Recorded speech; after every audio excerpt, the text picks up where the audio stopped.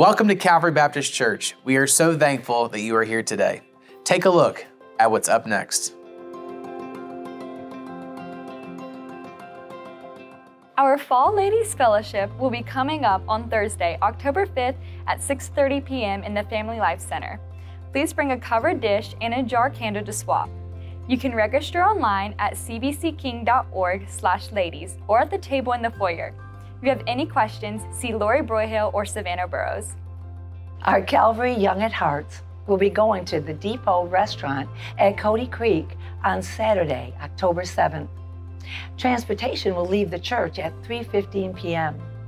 If you would like to meet at Cody Creek, dinner reservations are at 4 p.m. Please sign up today at the Information Center. When we give of our finances and resources, we do so by His Spirit. But the reason we give is so that others can hear about Jesus.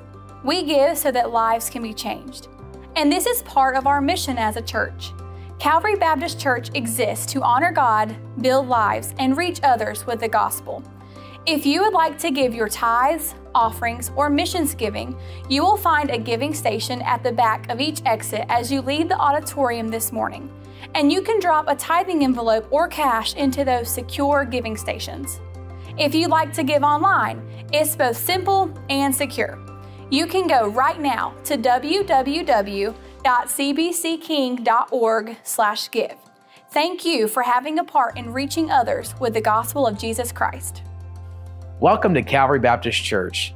Thank you for taking the time to worship the Lord with us here today. And if you're our guest, we're especially honored and we're thankful that you're here. If you're our guest, we want to encourage you to find the connection card right there in the back in front of you. It simply says, Welcome home. And our prayer is that you will find a home and a family here at Calvary Baptist Church. We want to encourage you during the service to fill out the information on the back of this card that you're comfortable sharing with us. You can also fill this connection card out online.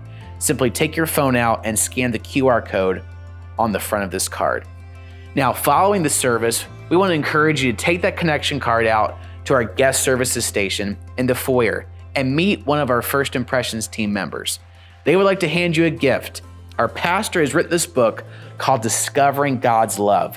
What does the Bible say about the love of God. And we'd like to hand this to you simply as our way of saying thank you for being with us today here at Calvary. If you have any questions whatsoever, please visit the guest services station in the foyer or visit one of our First Impressions team members in the auditorium. Thank you for worshiping the Lord with us today here at Calvary.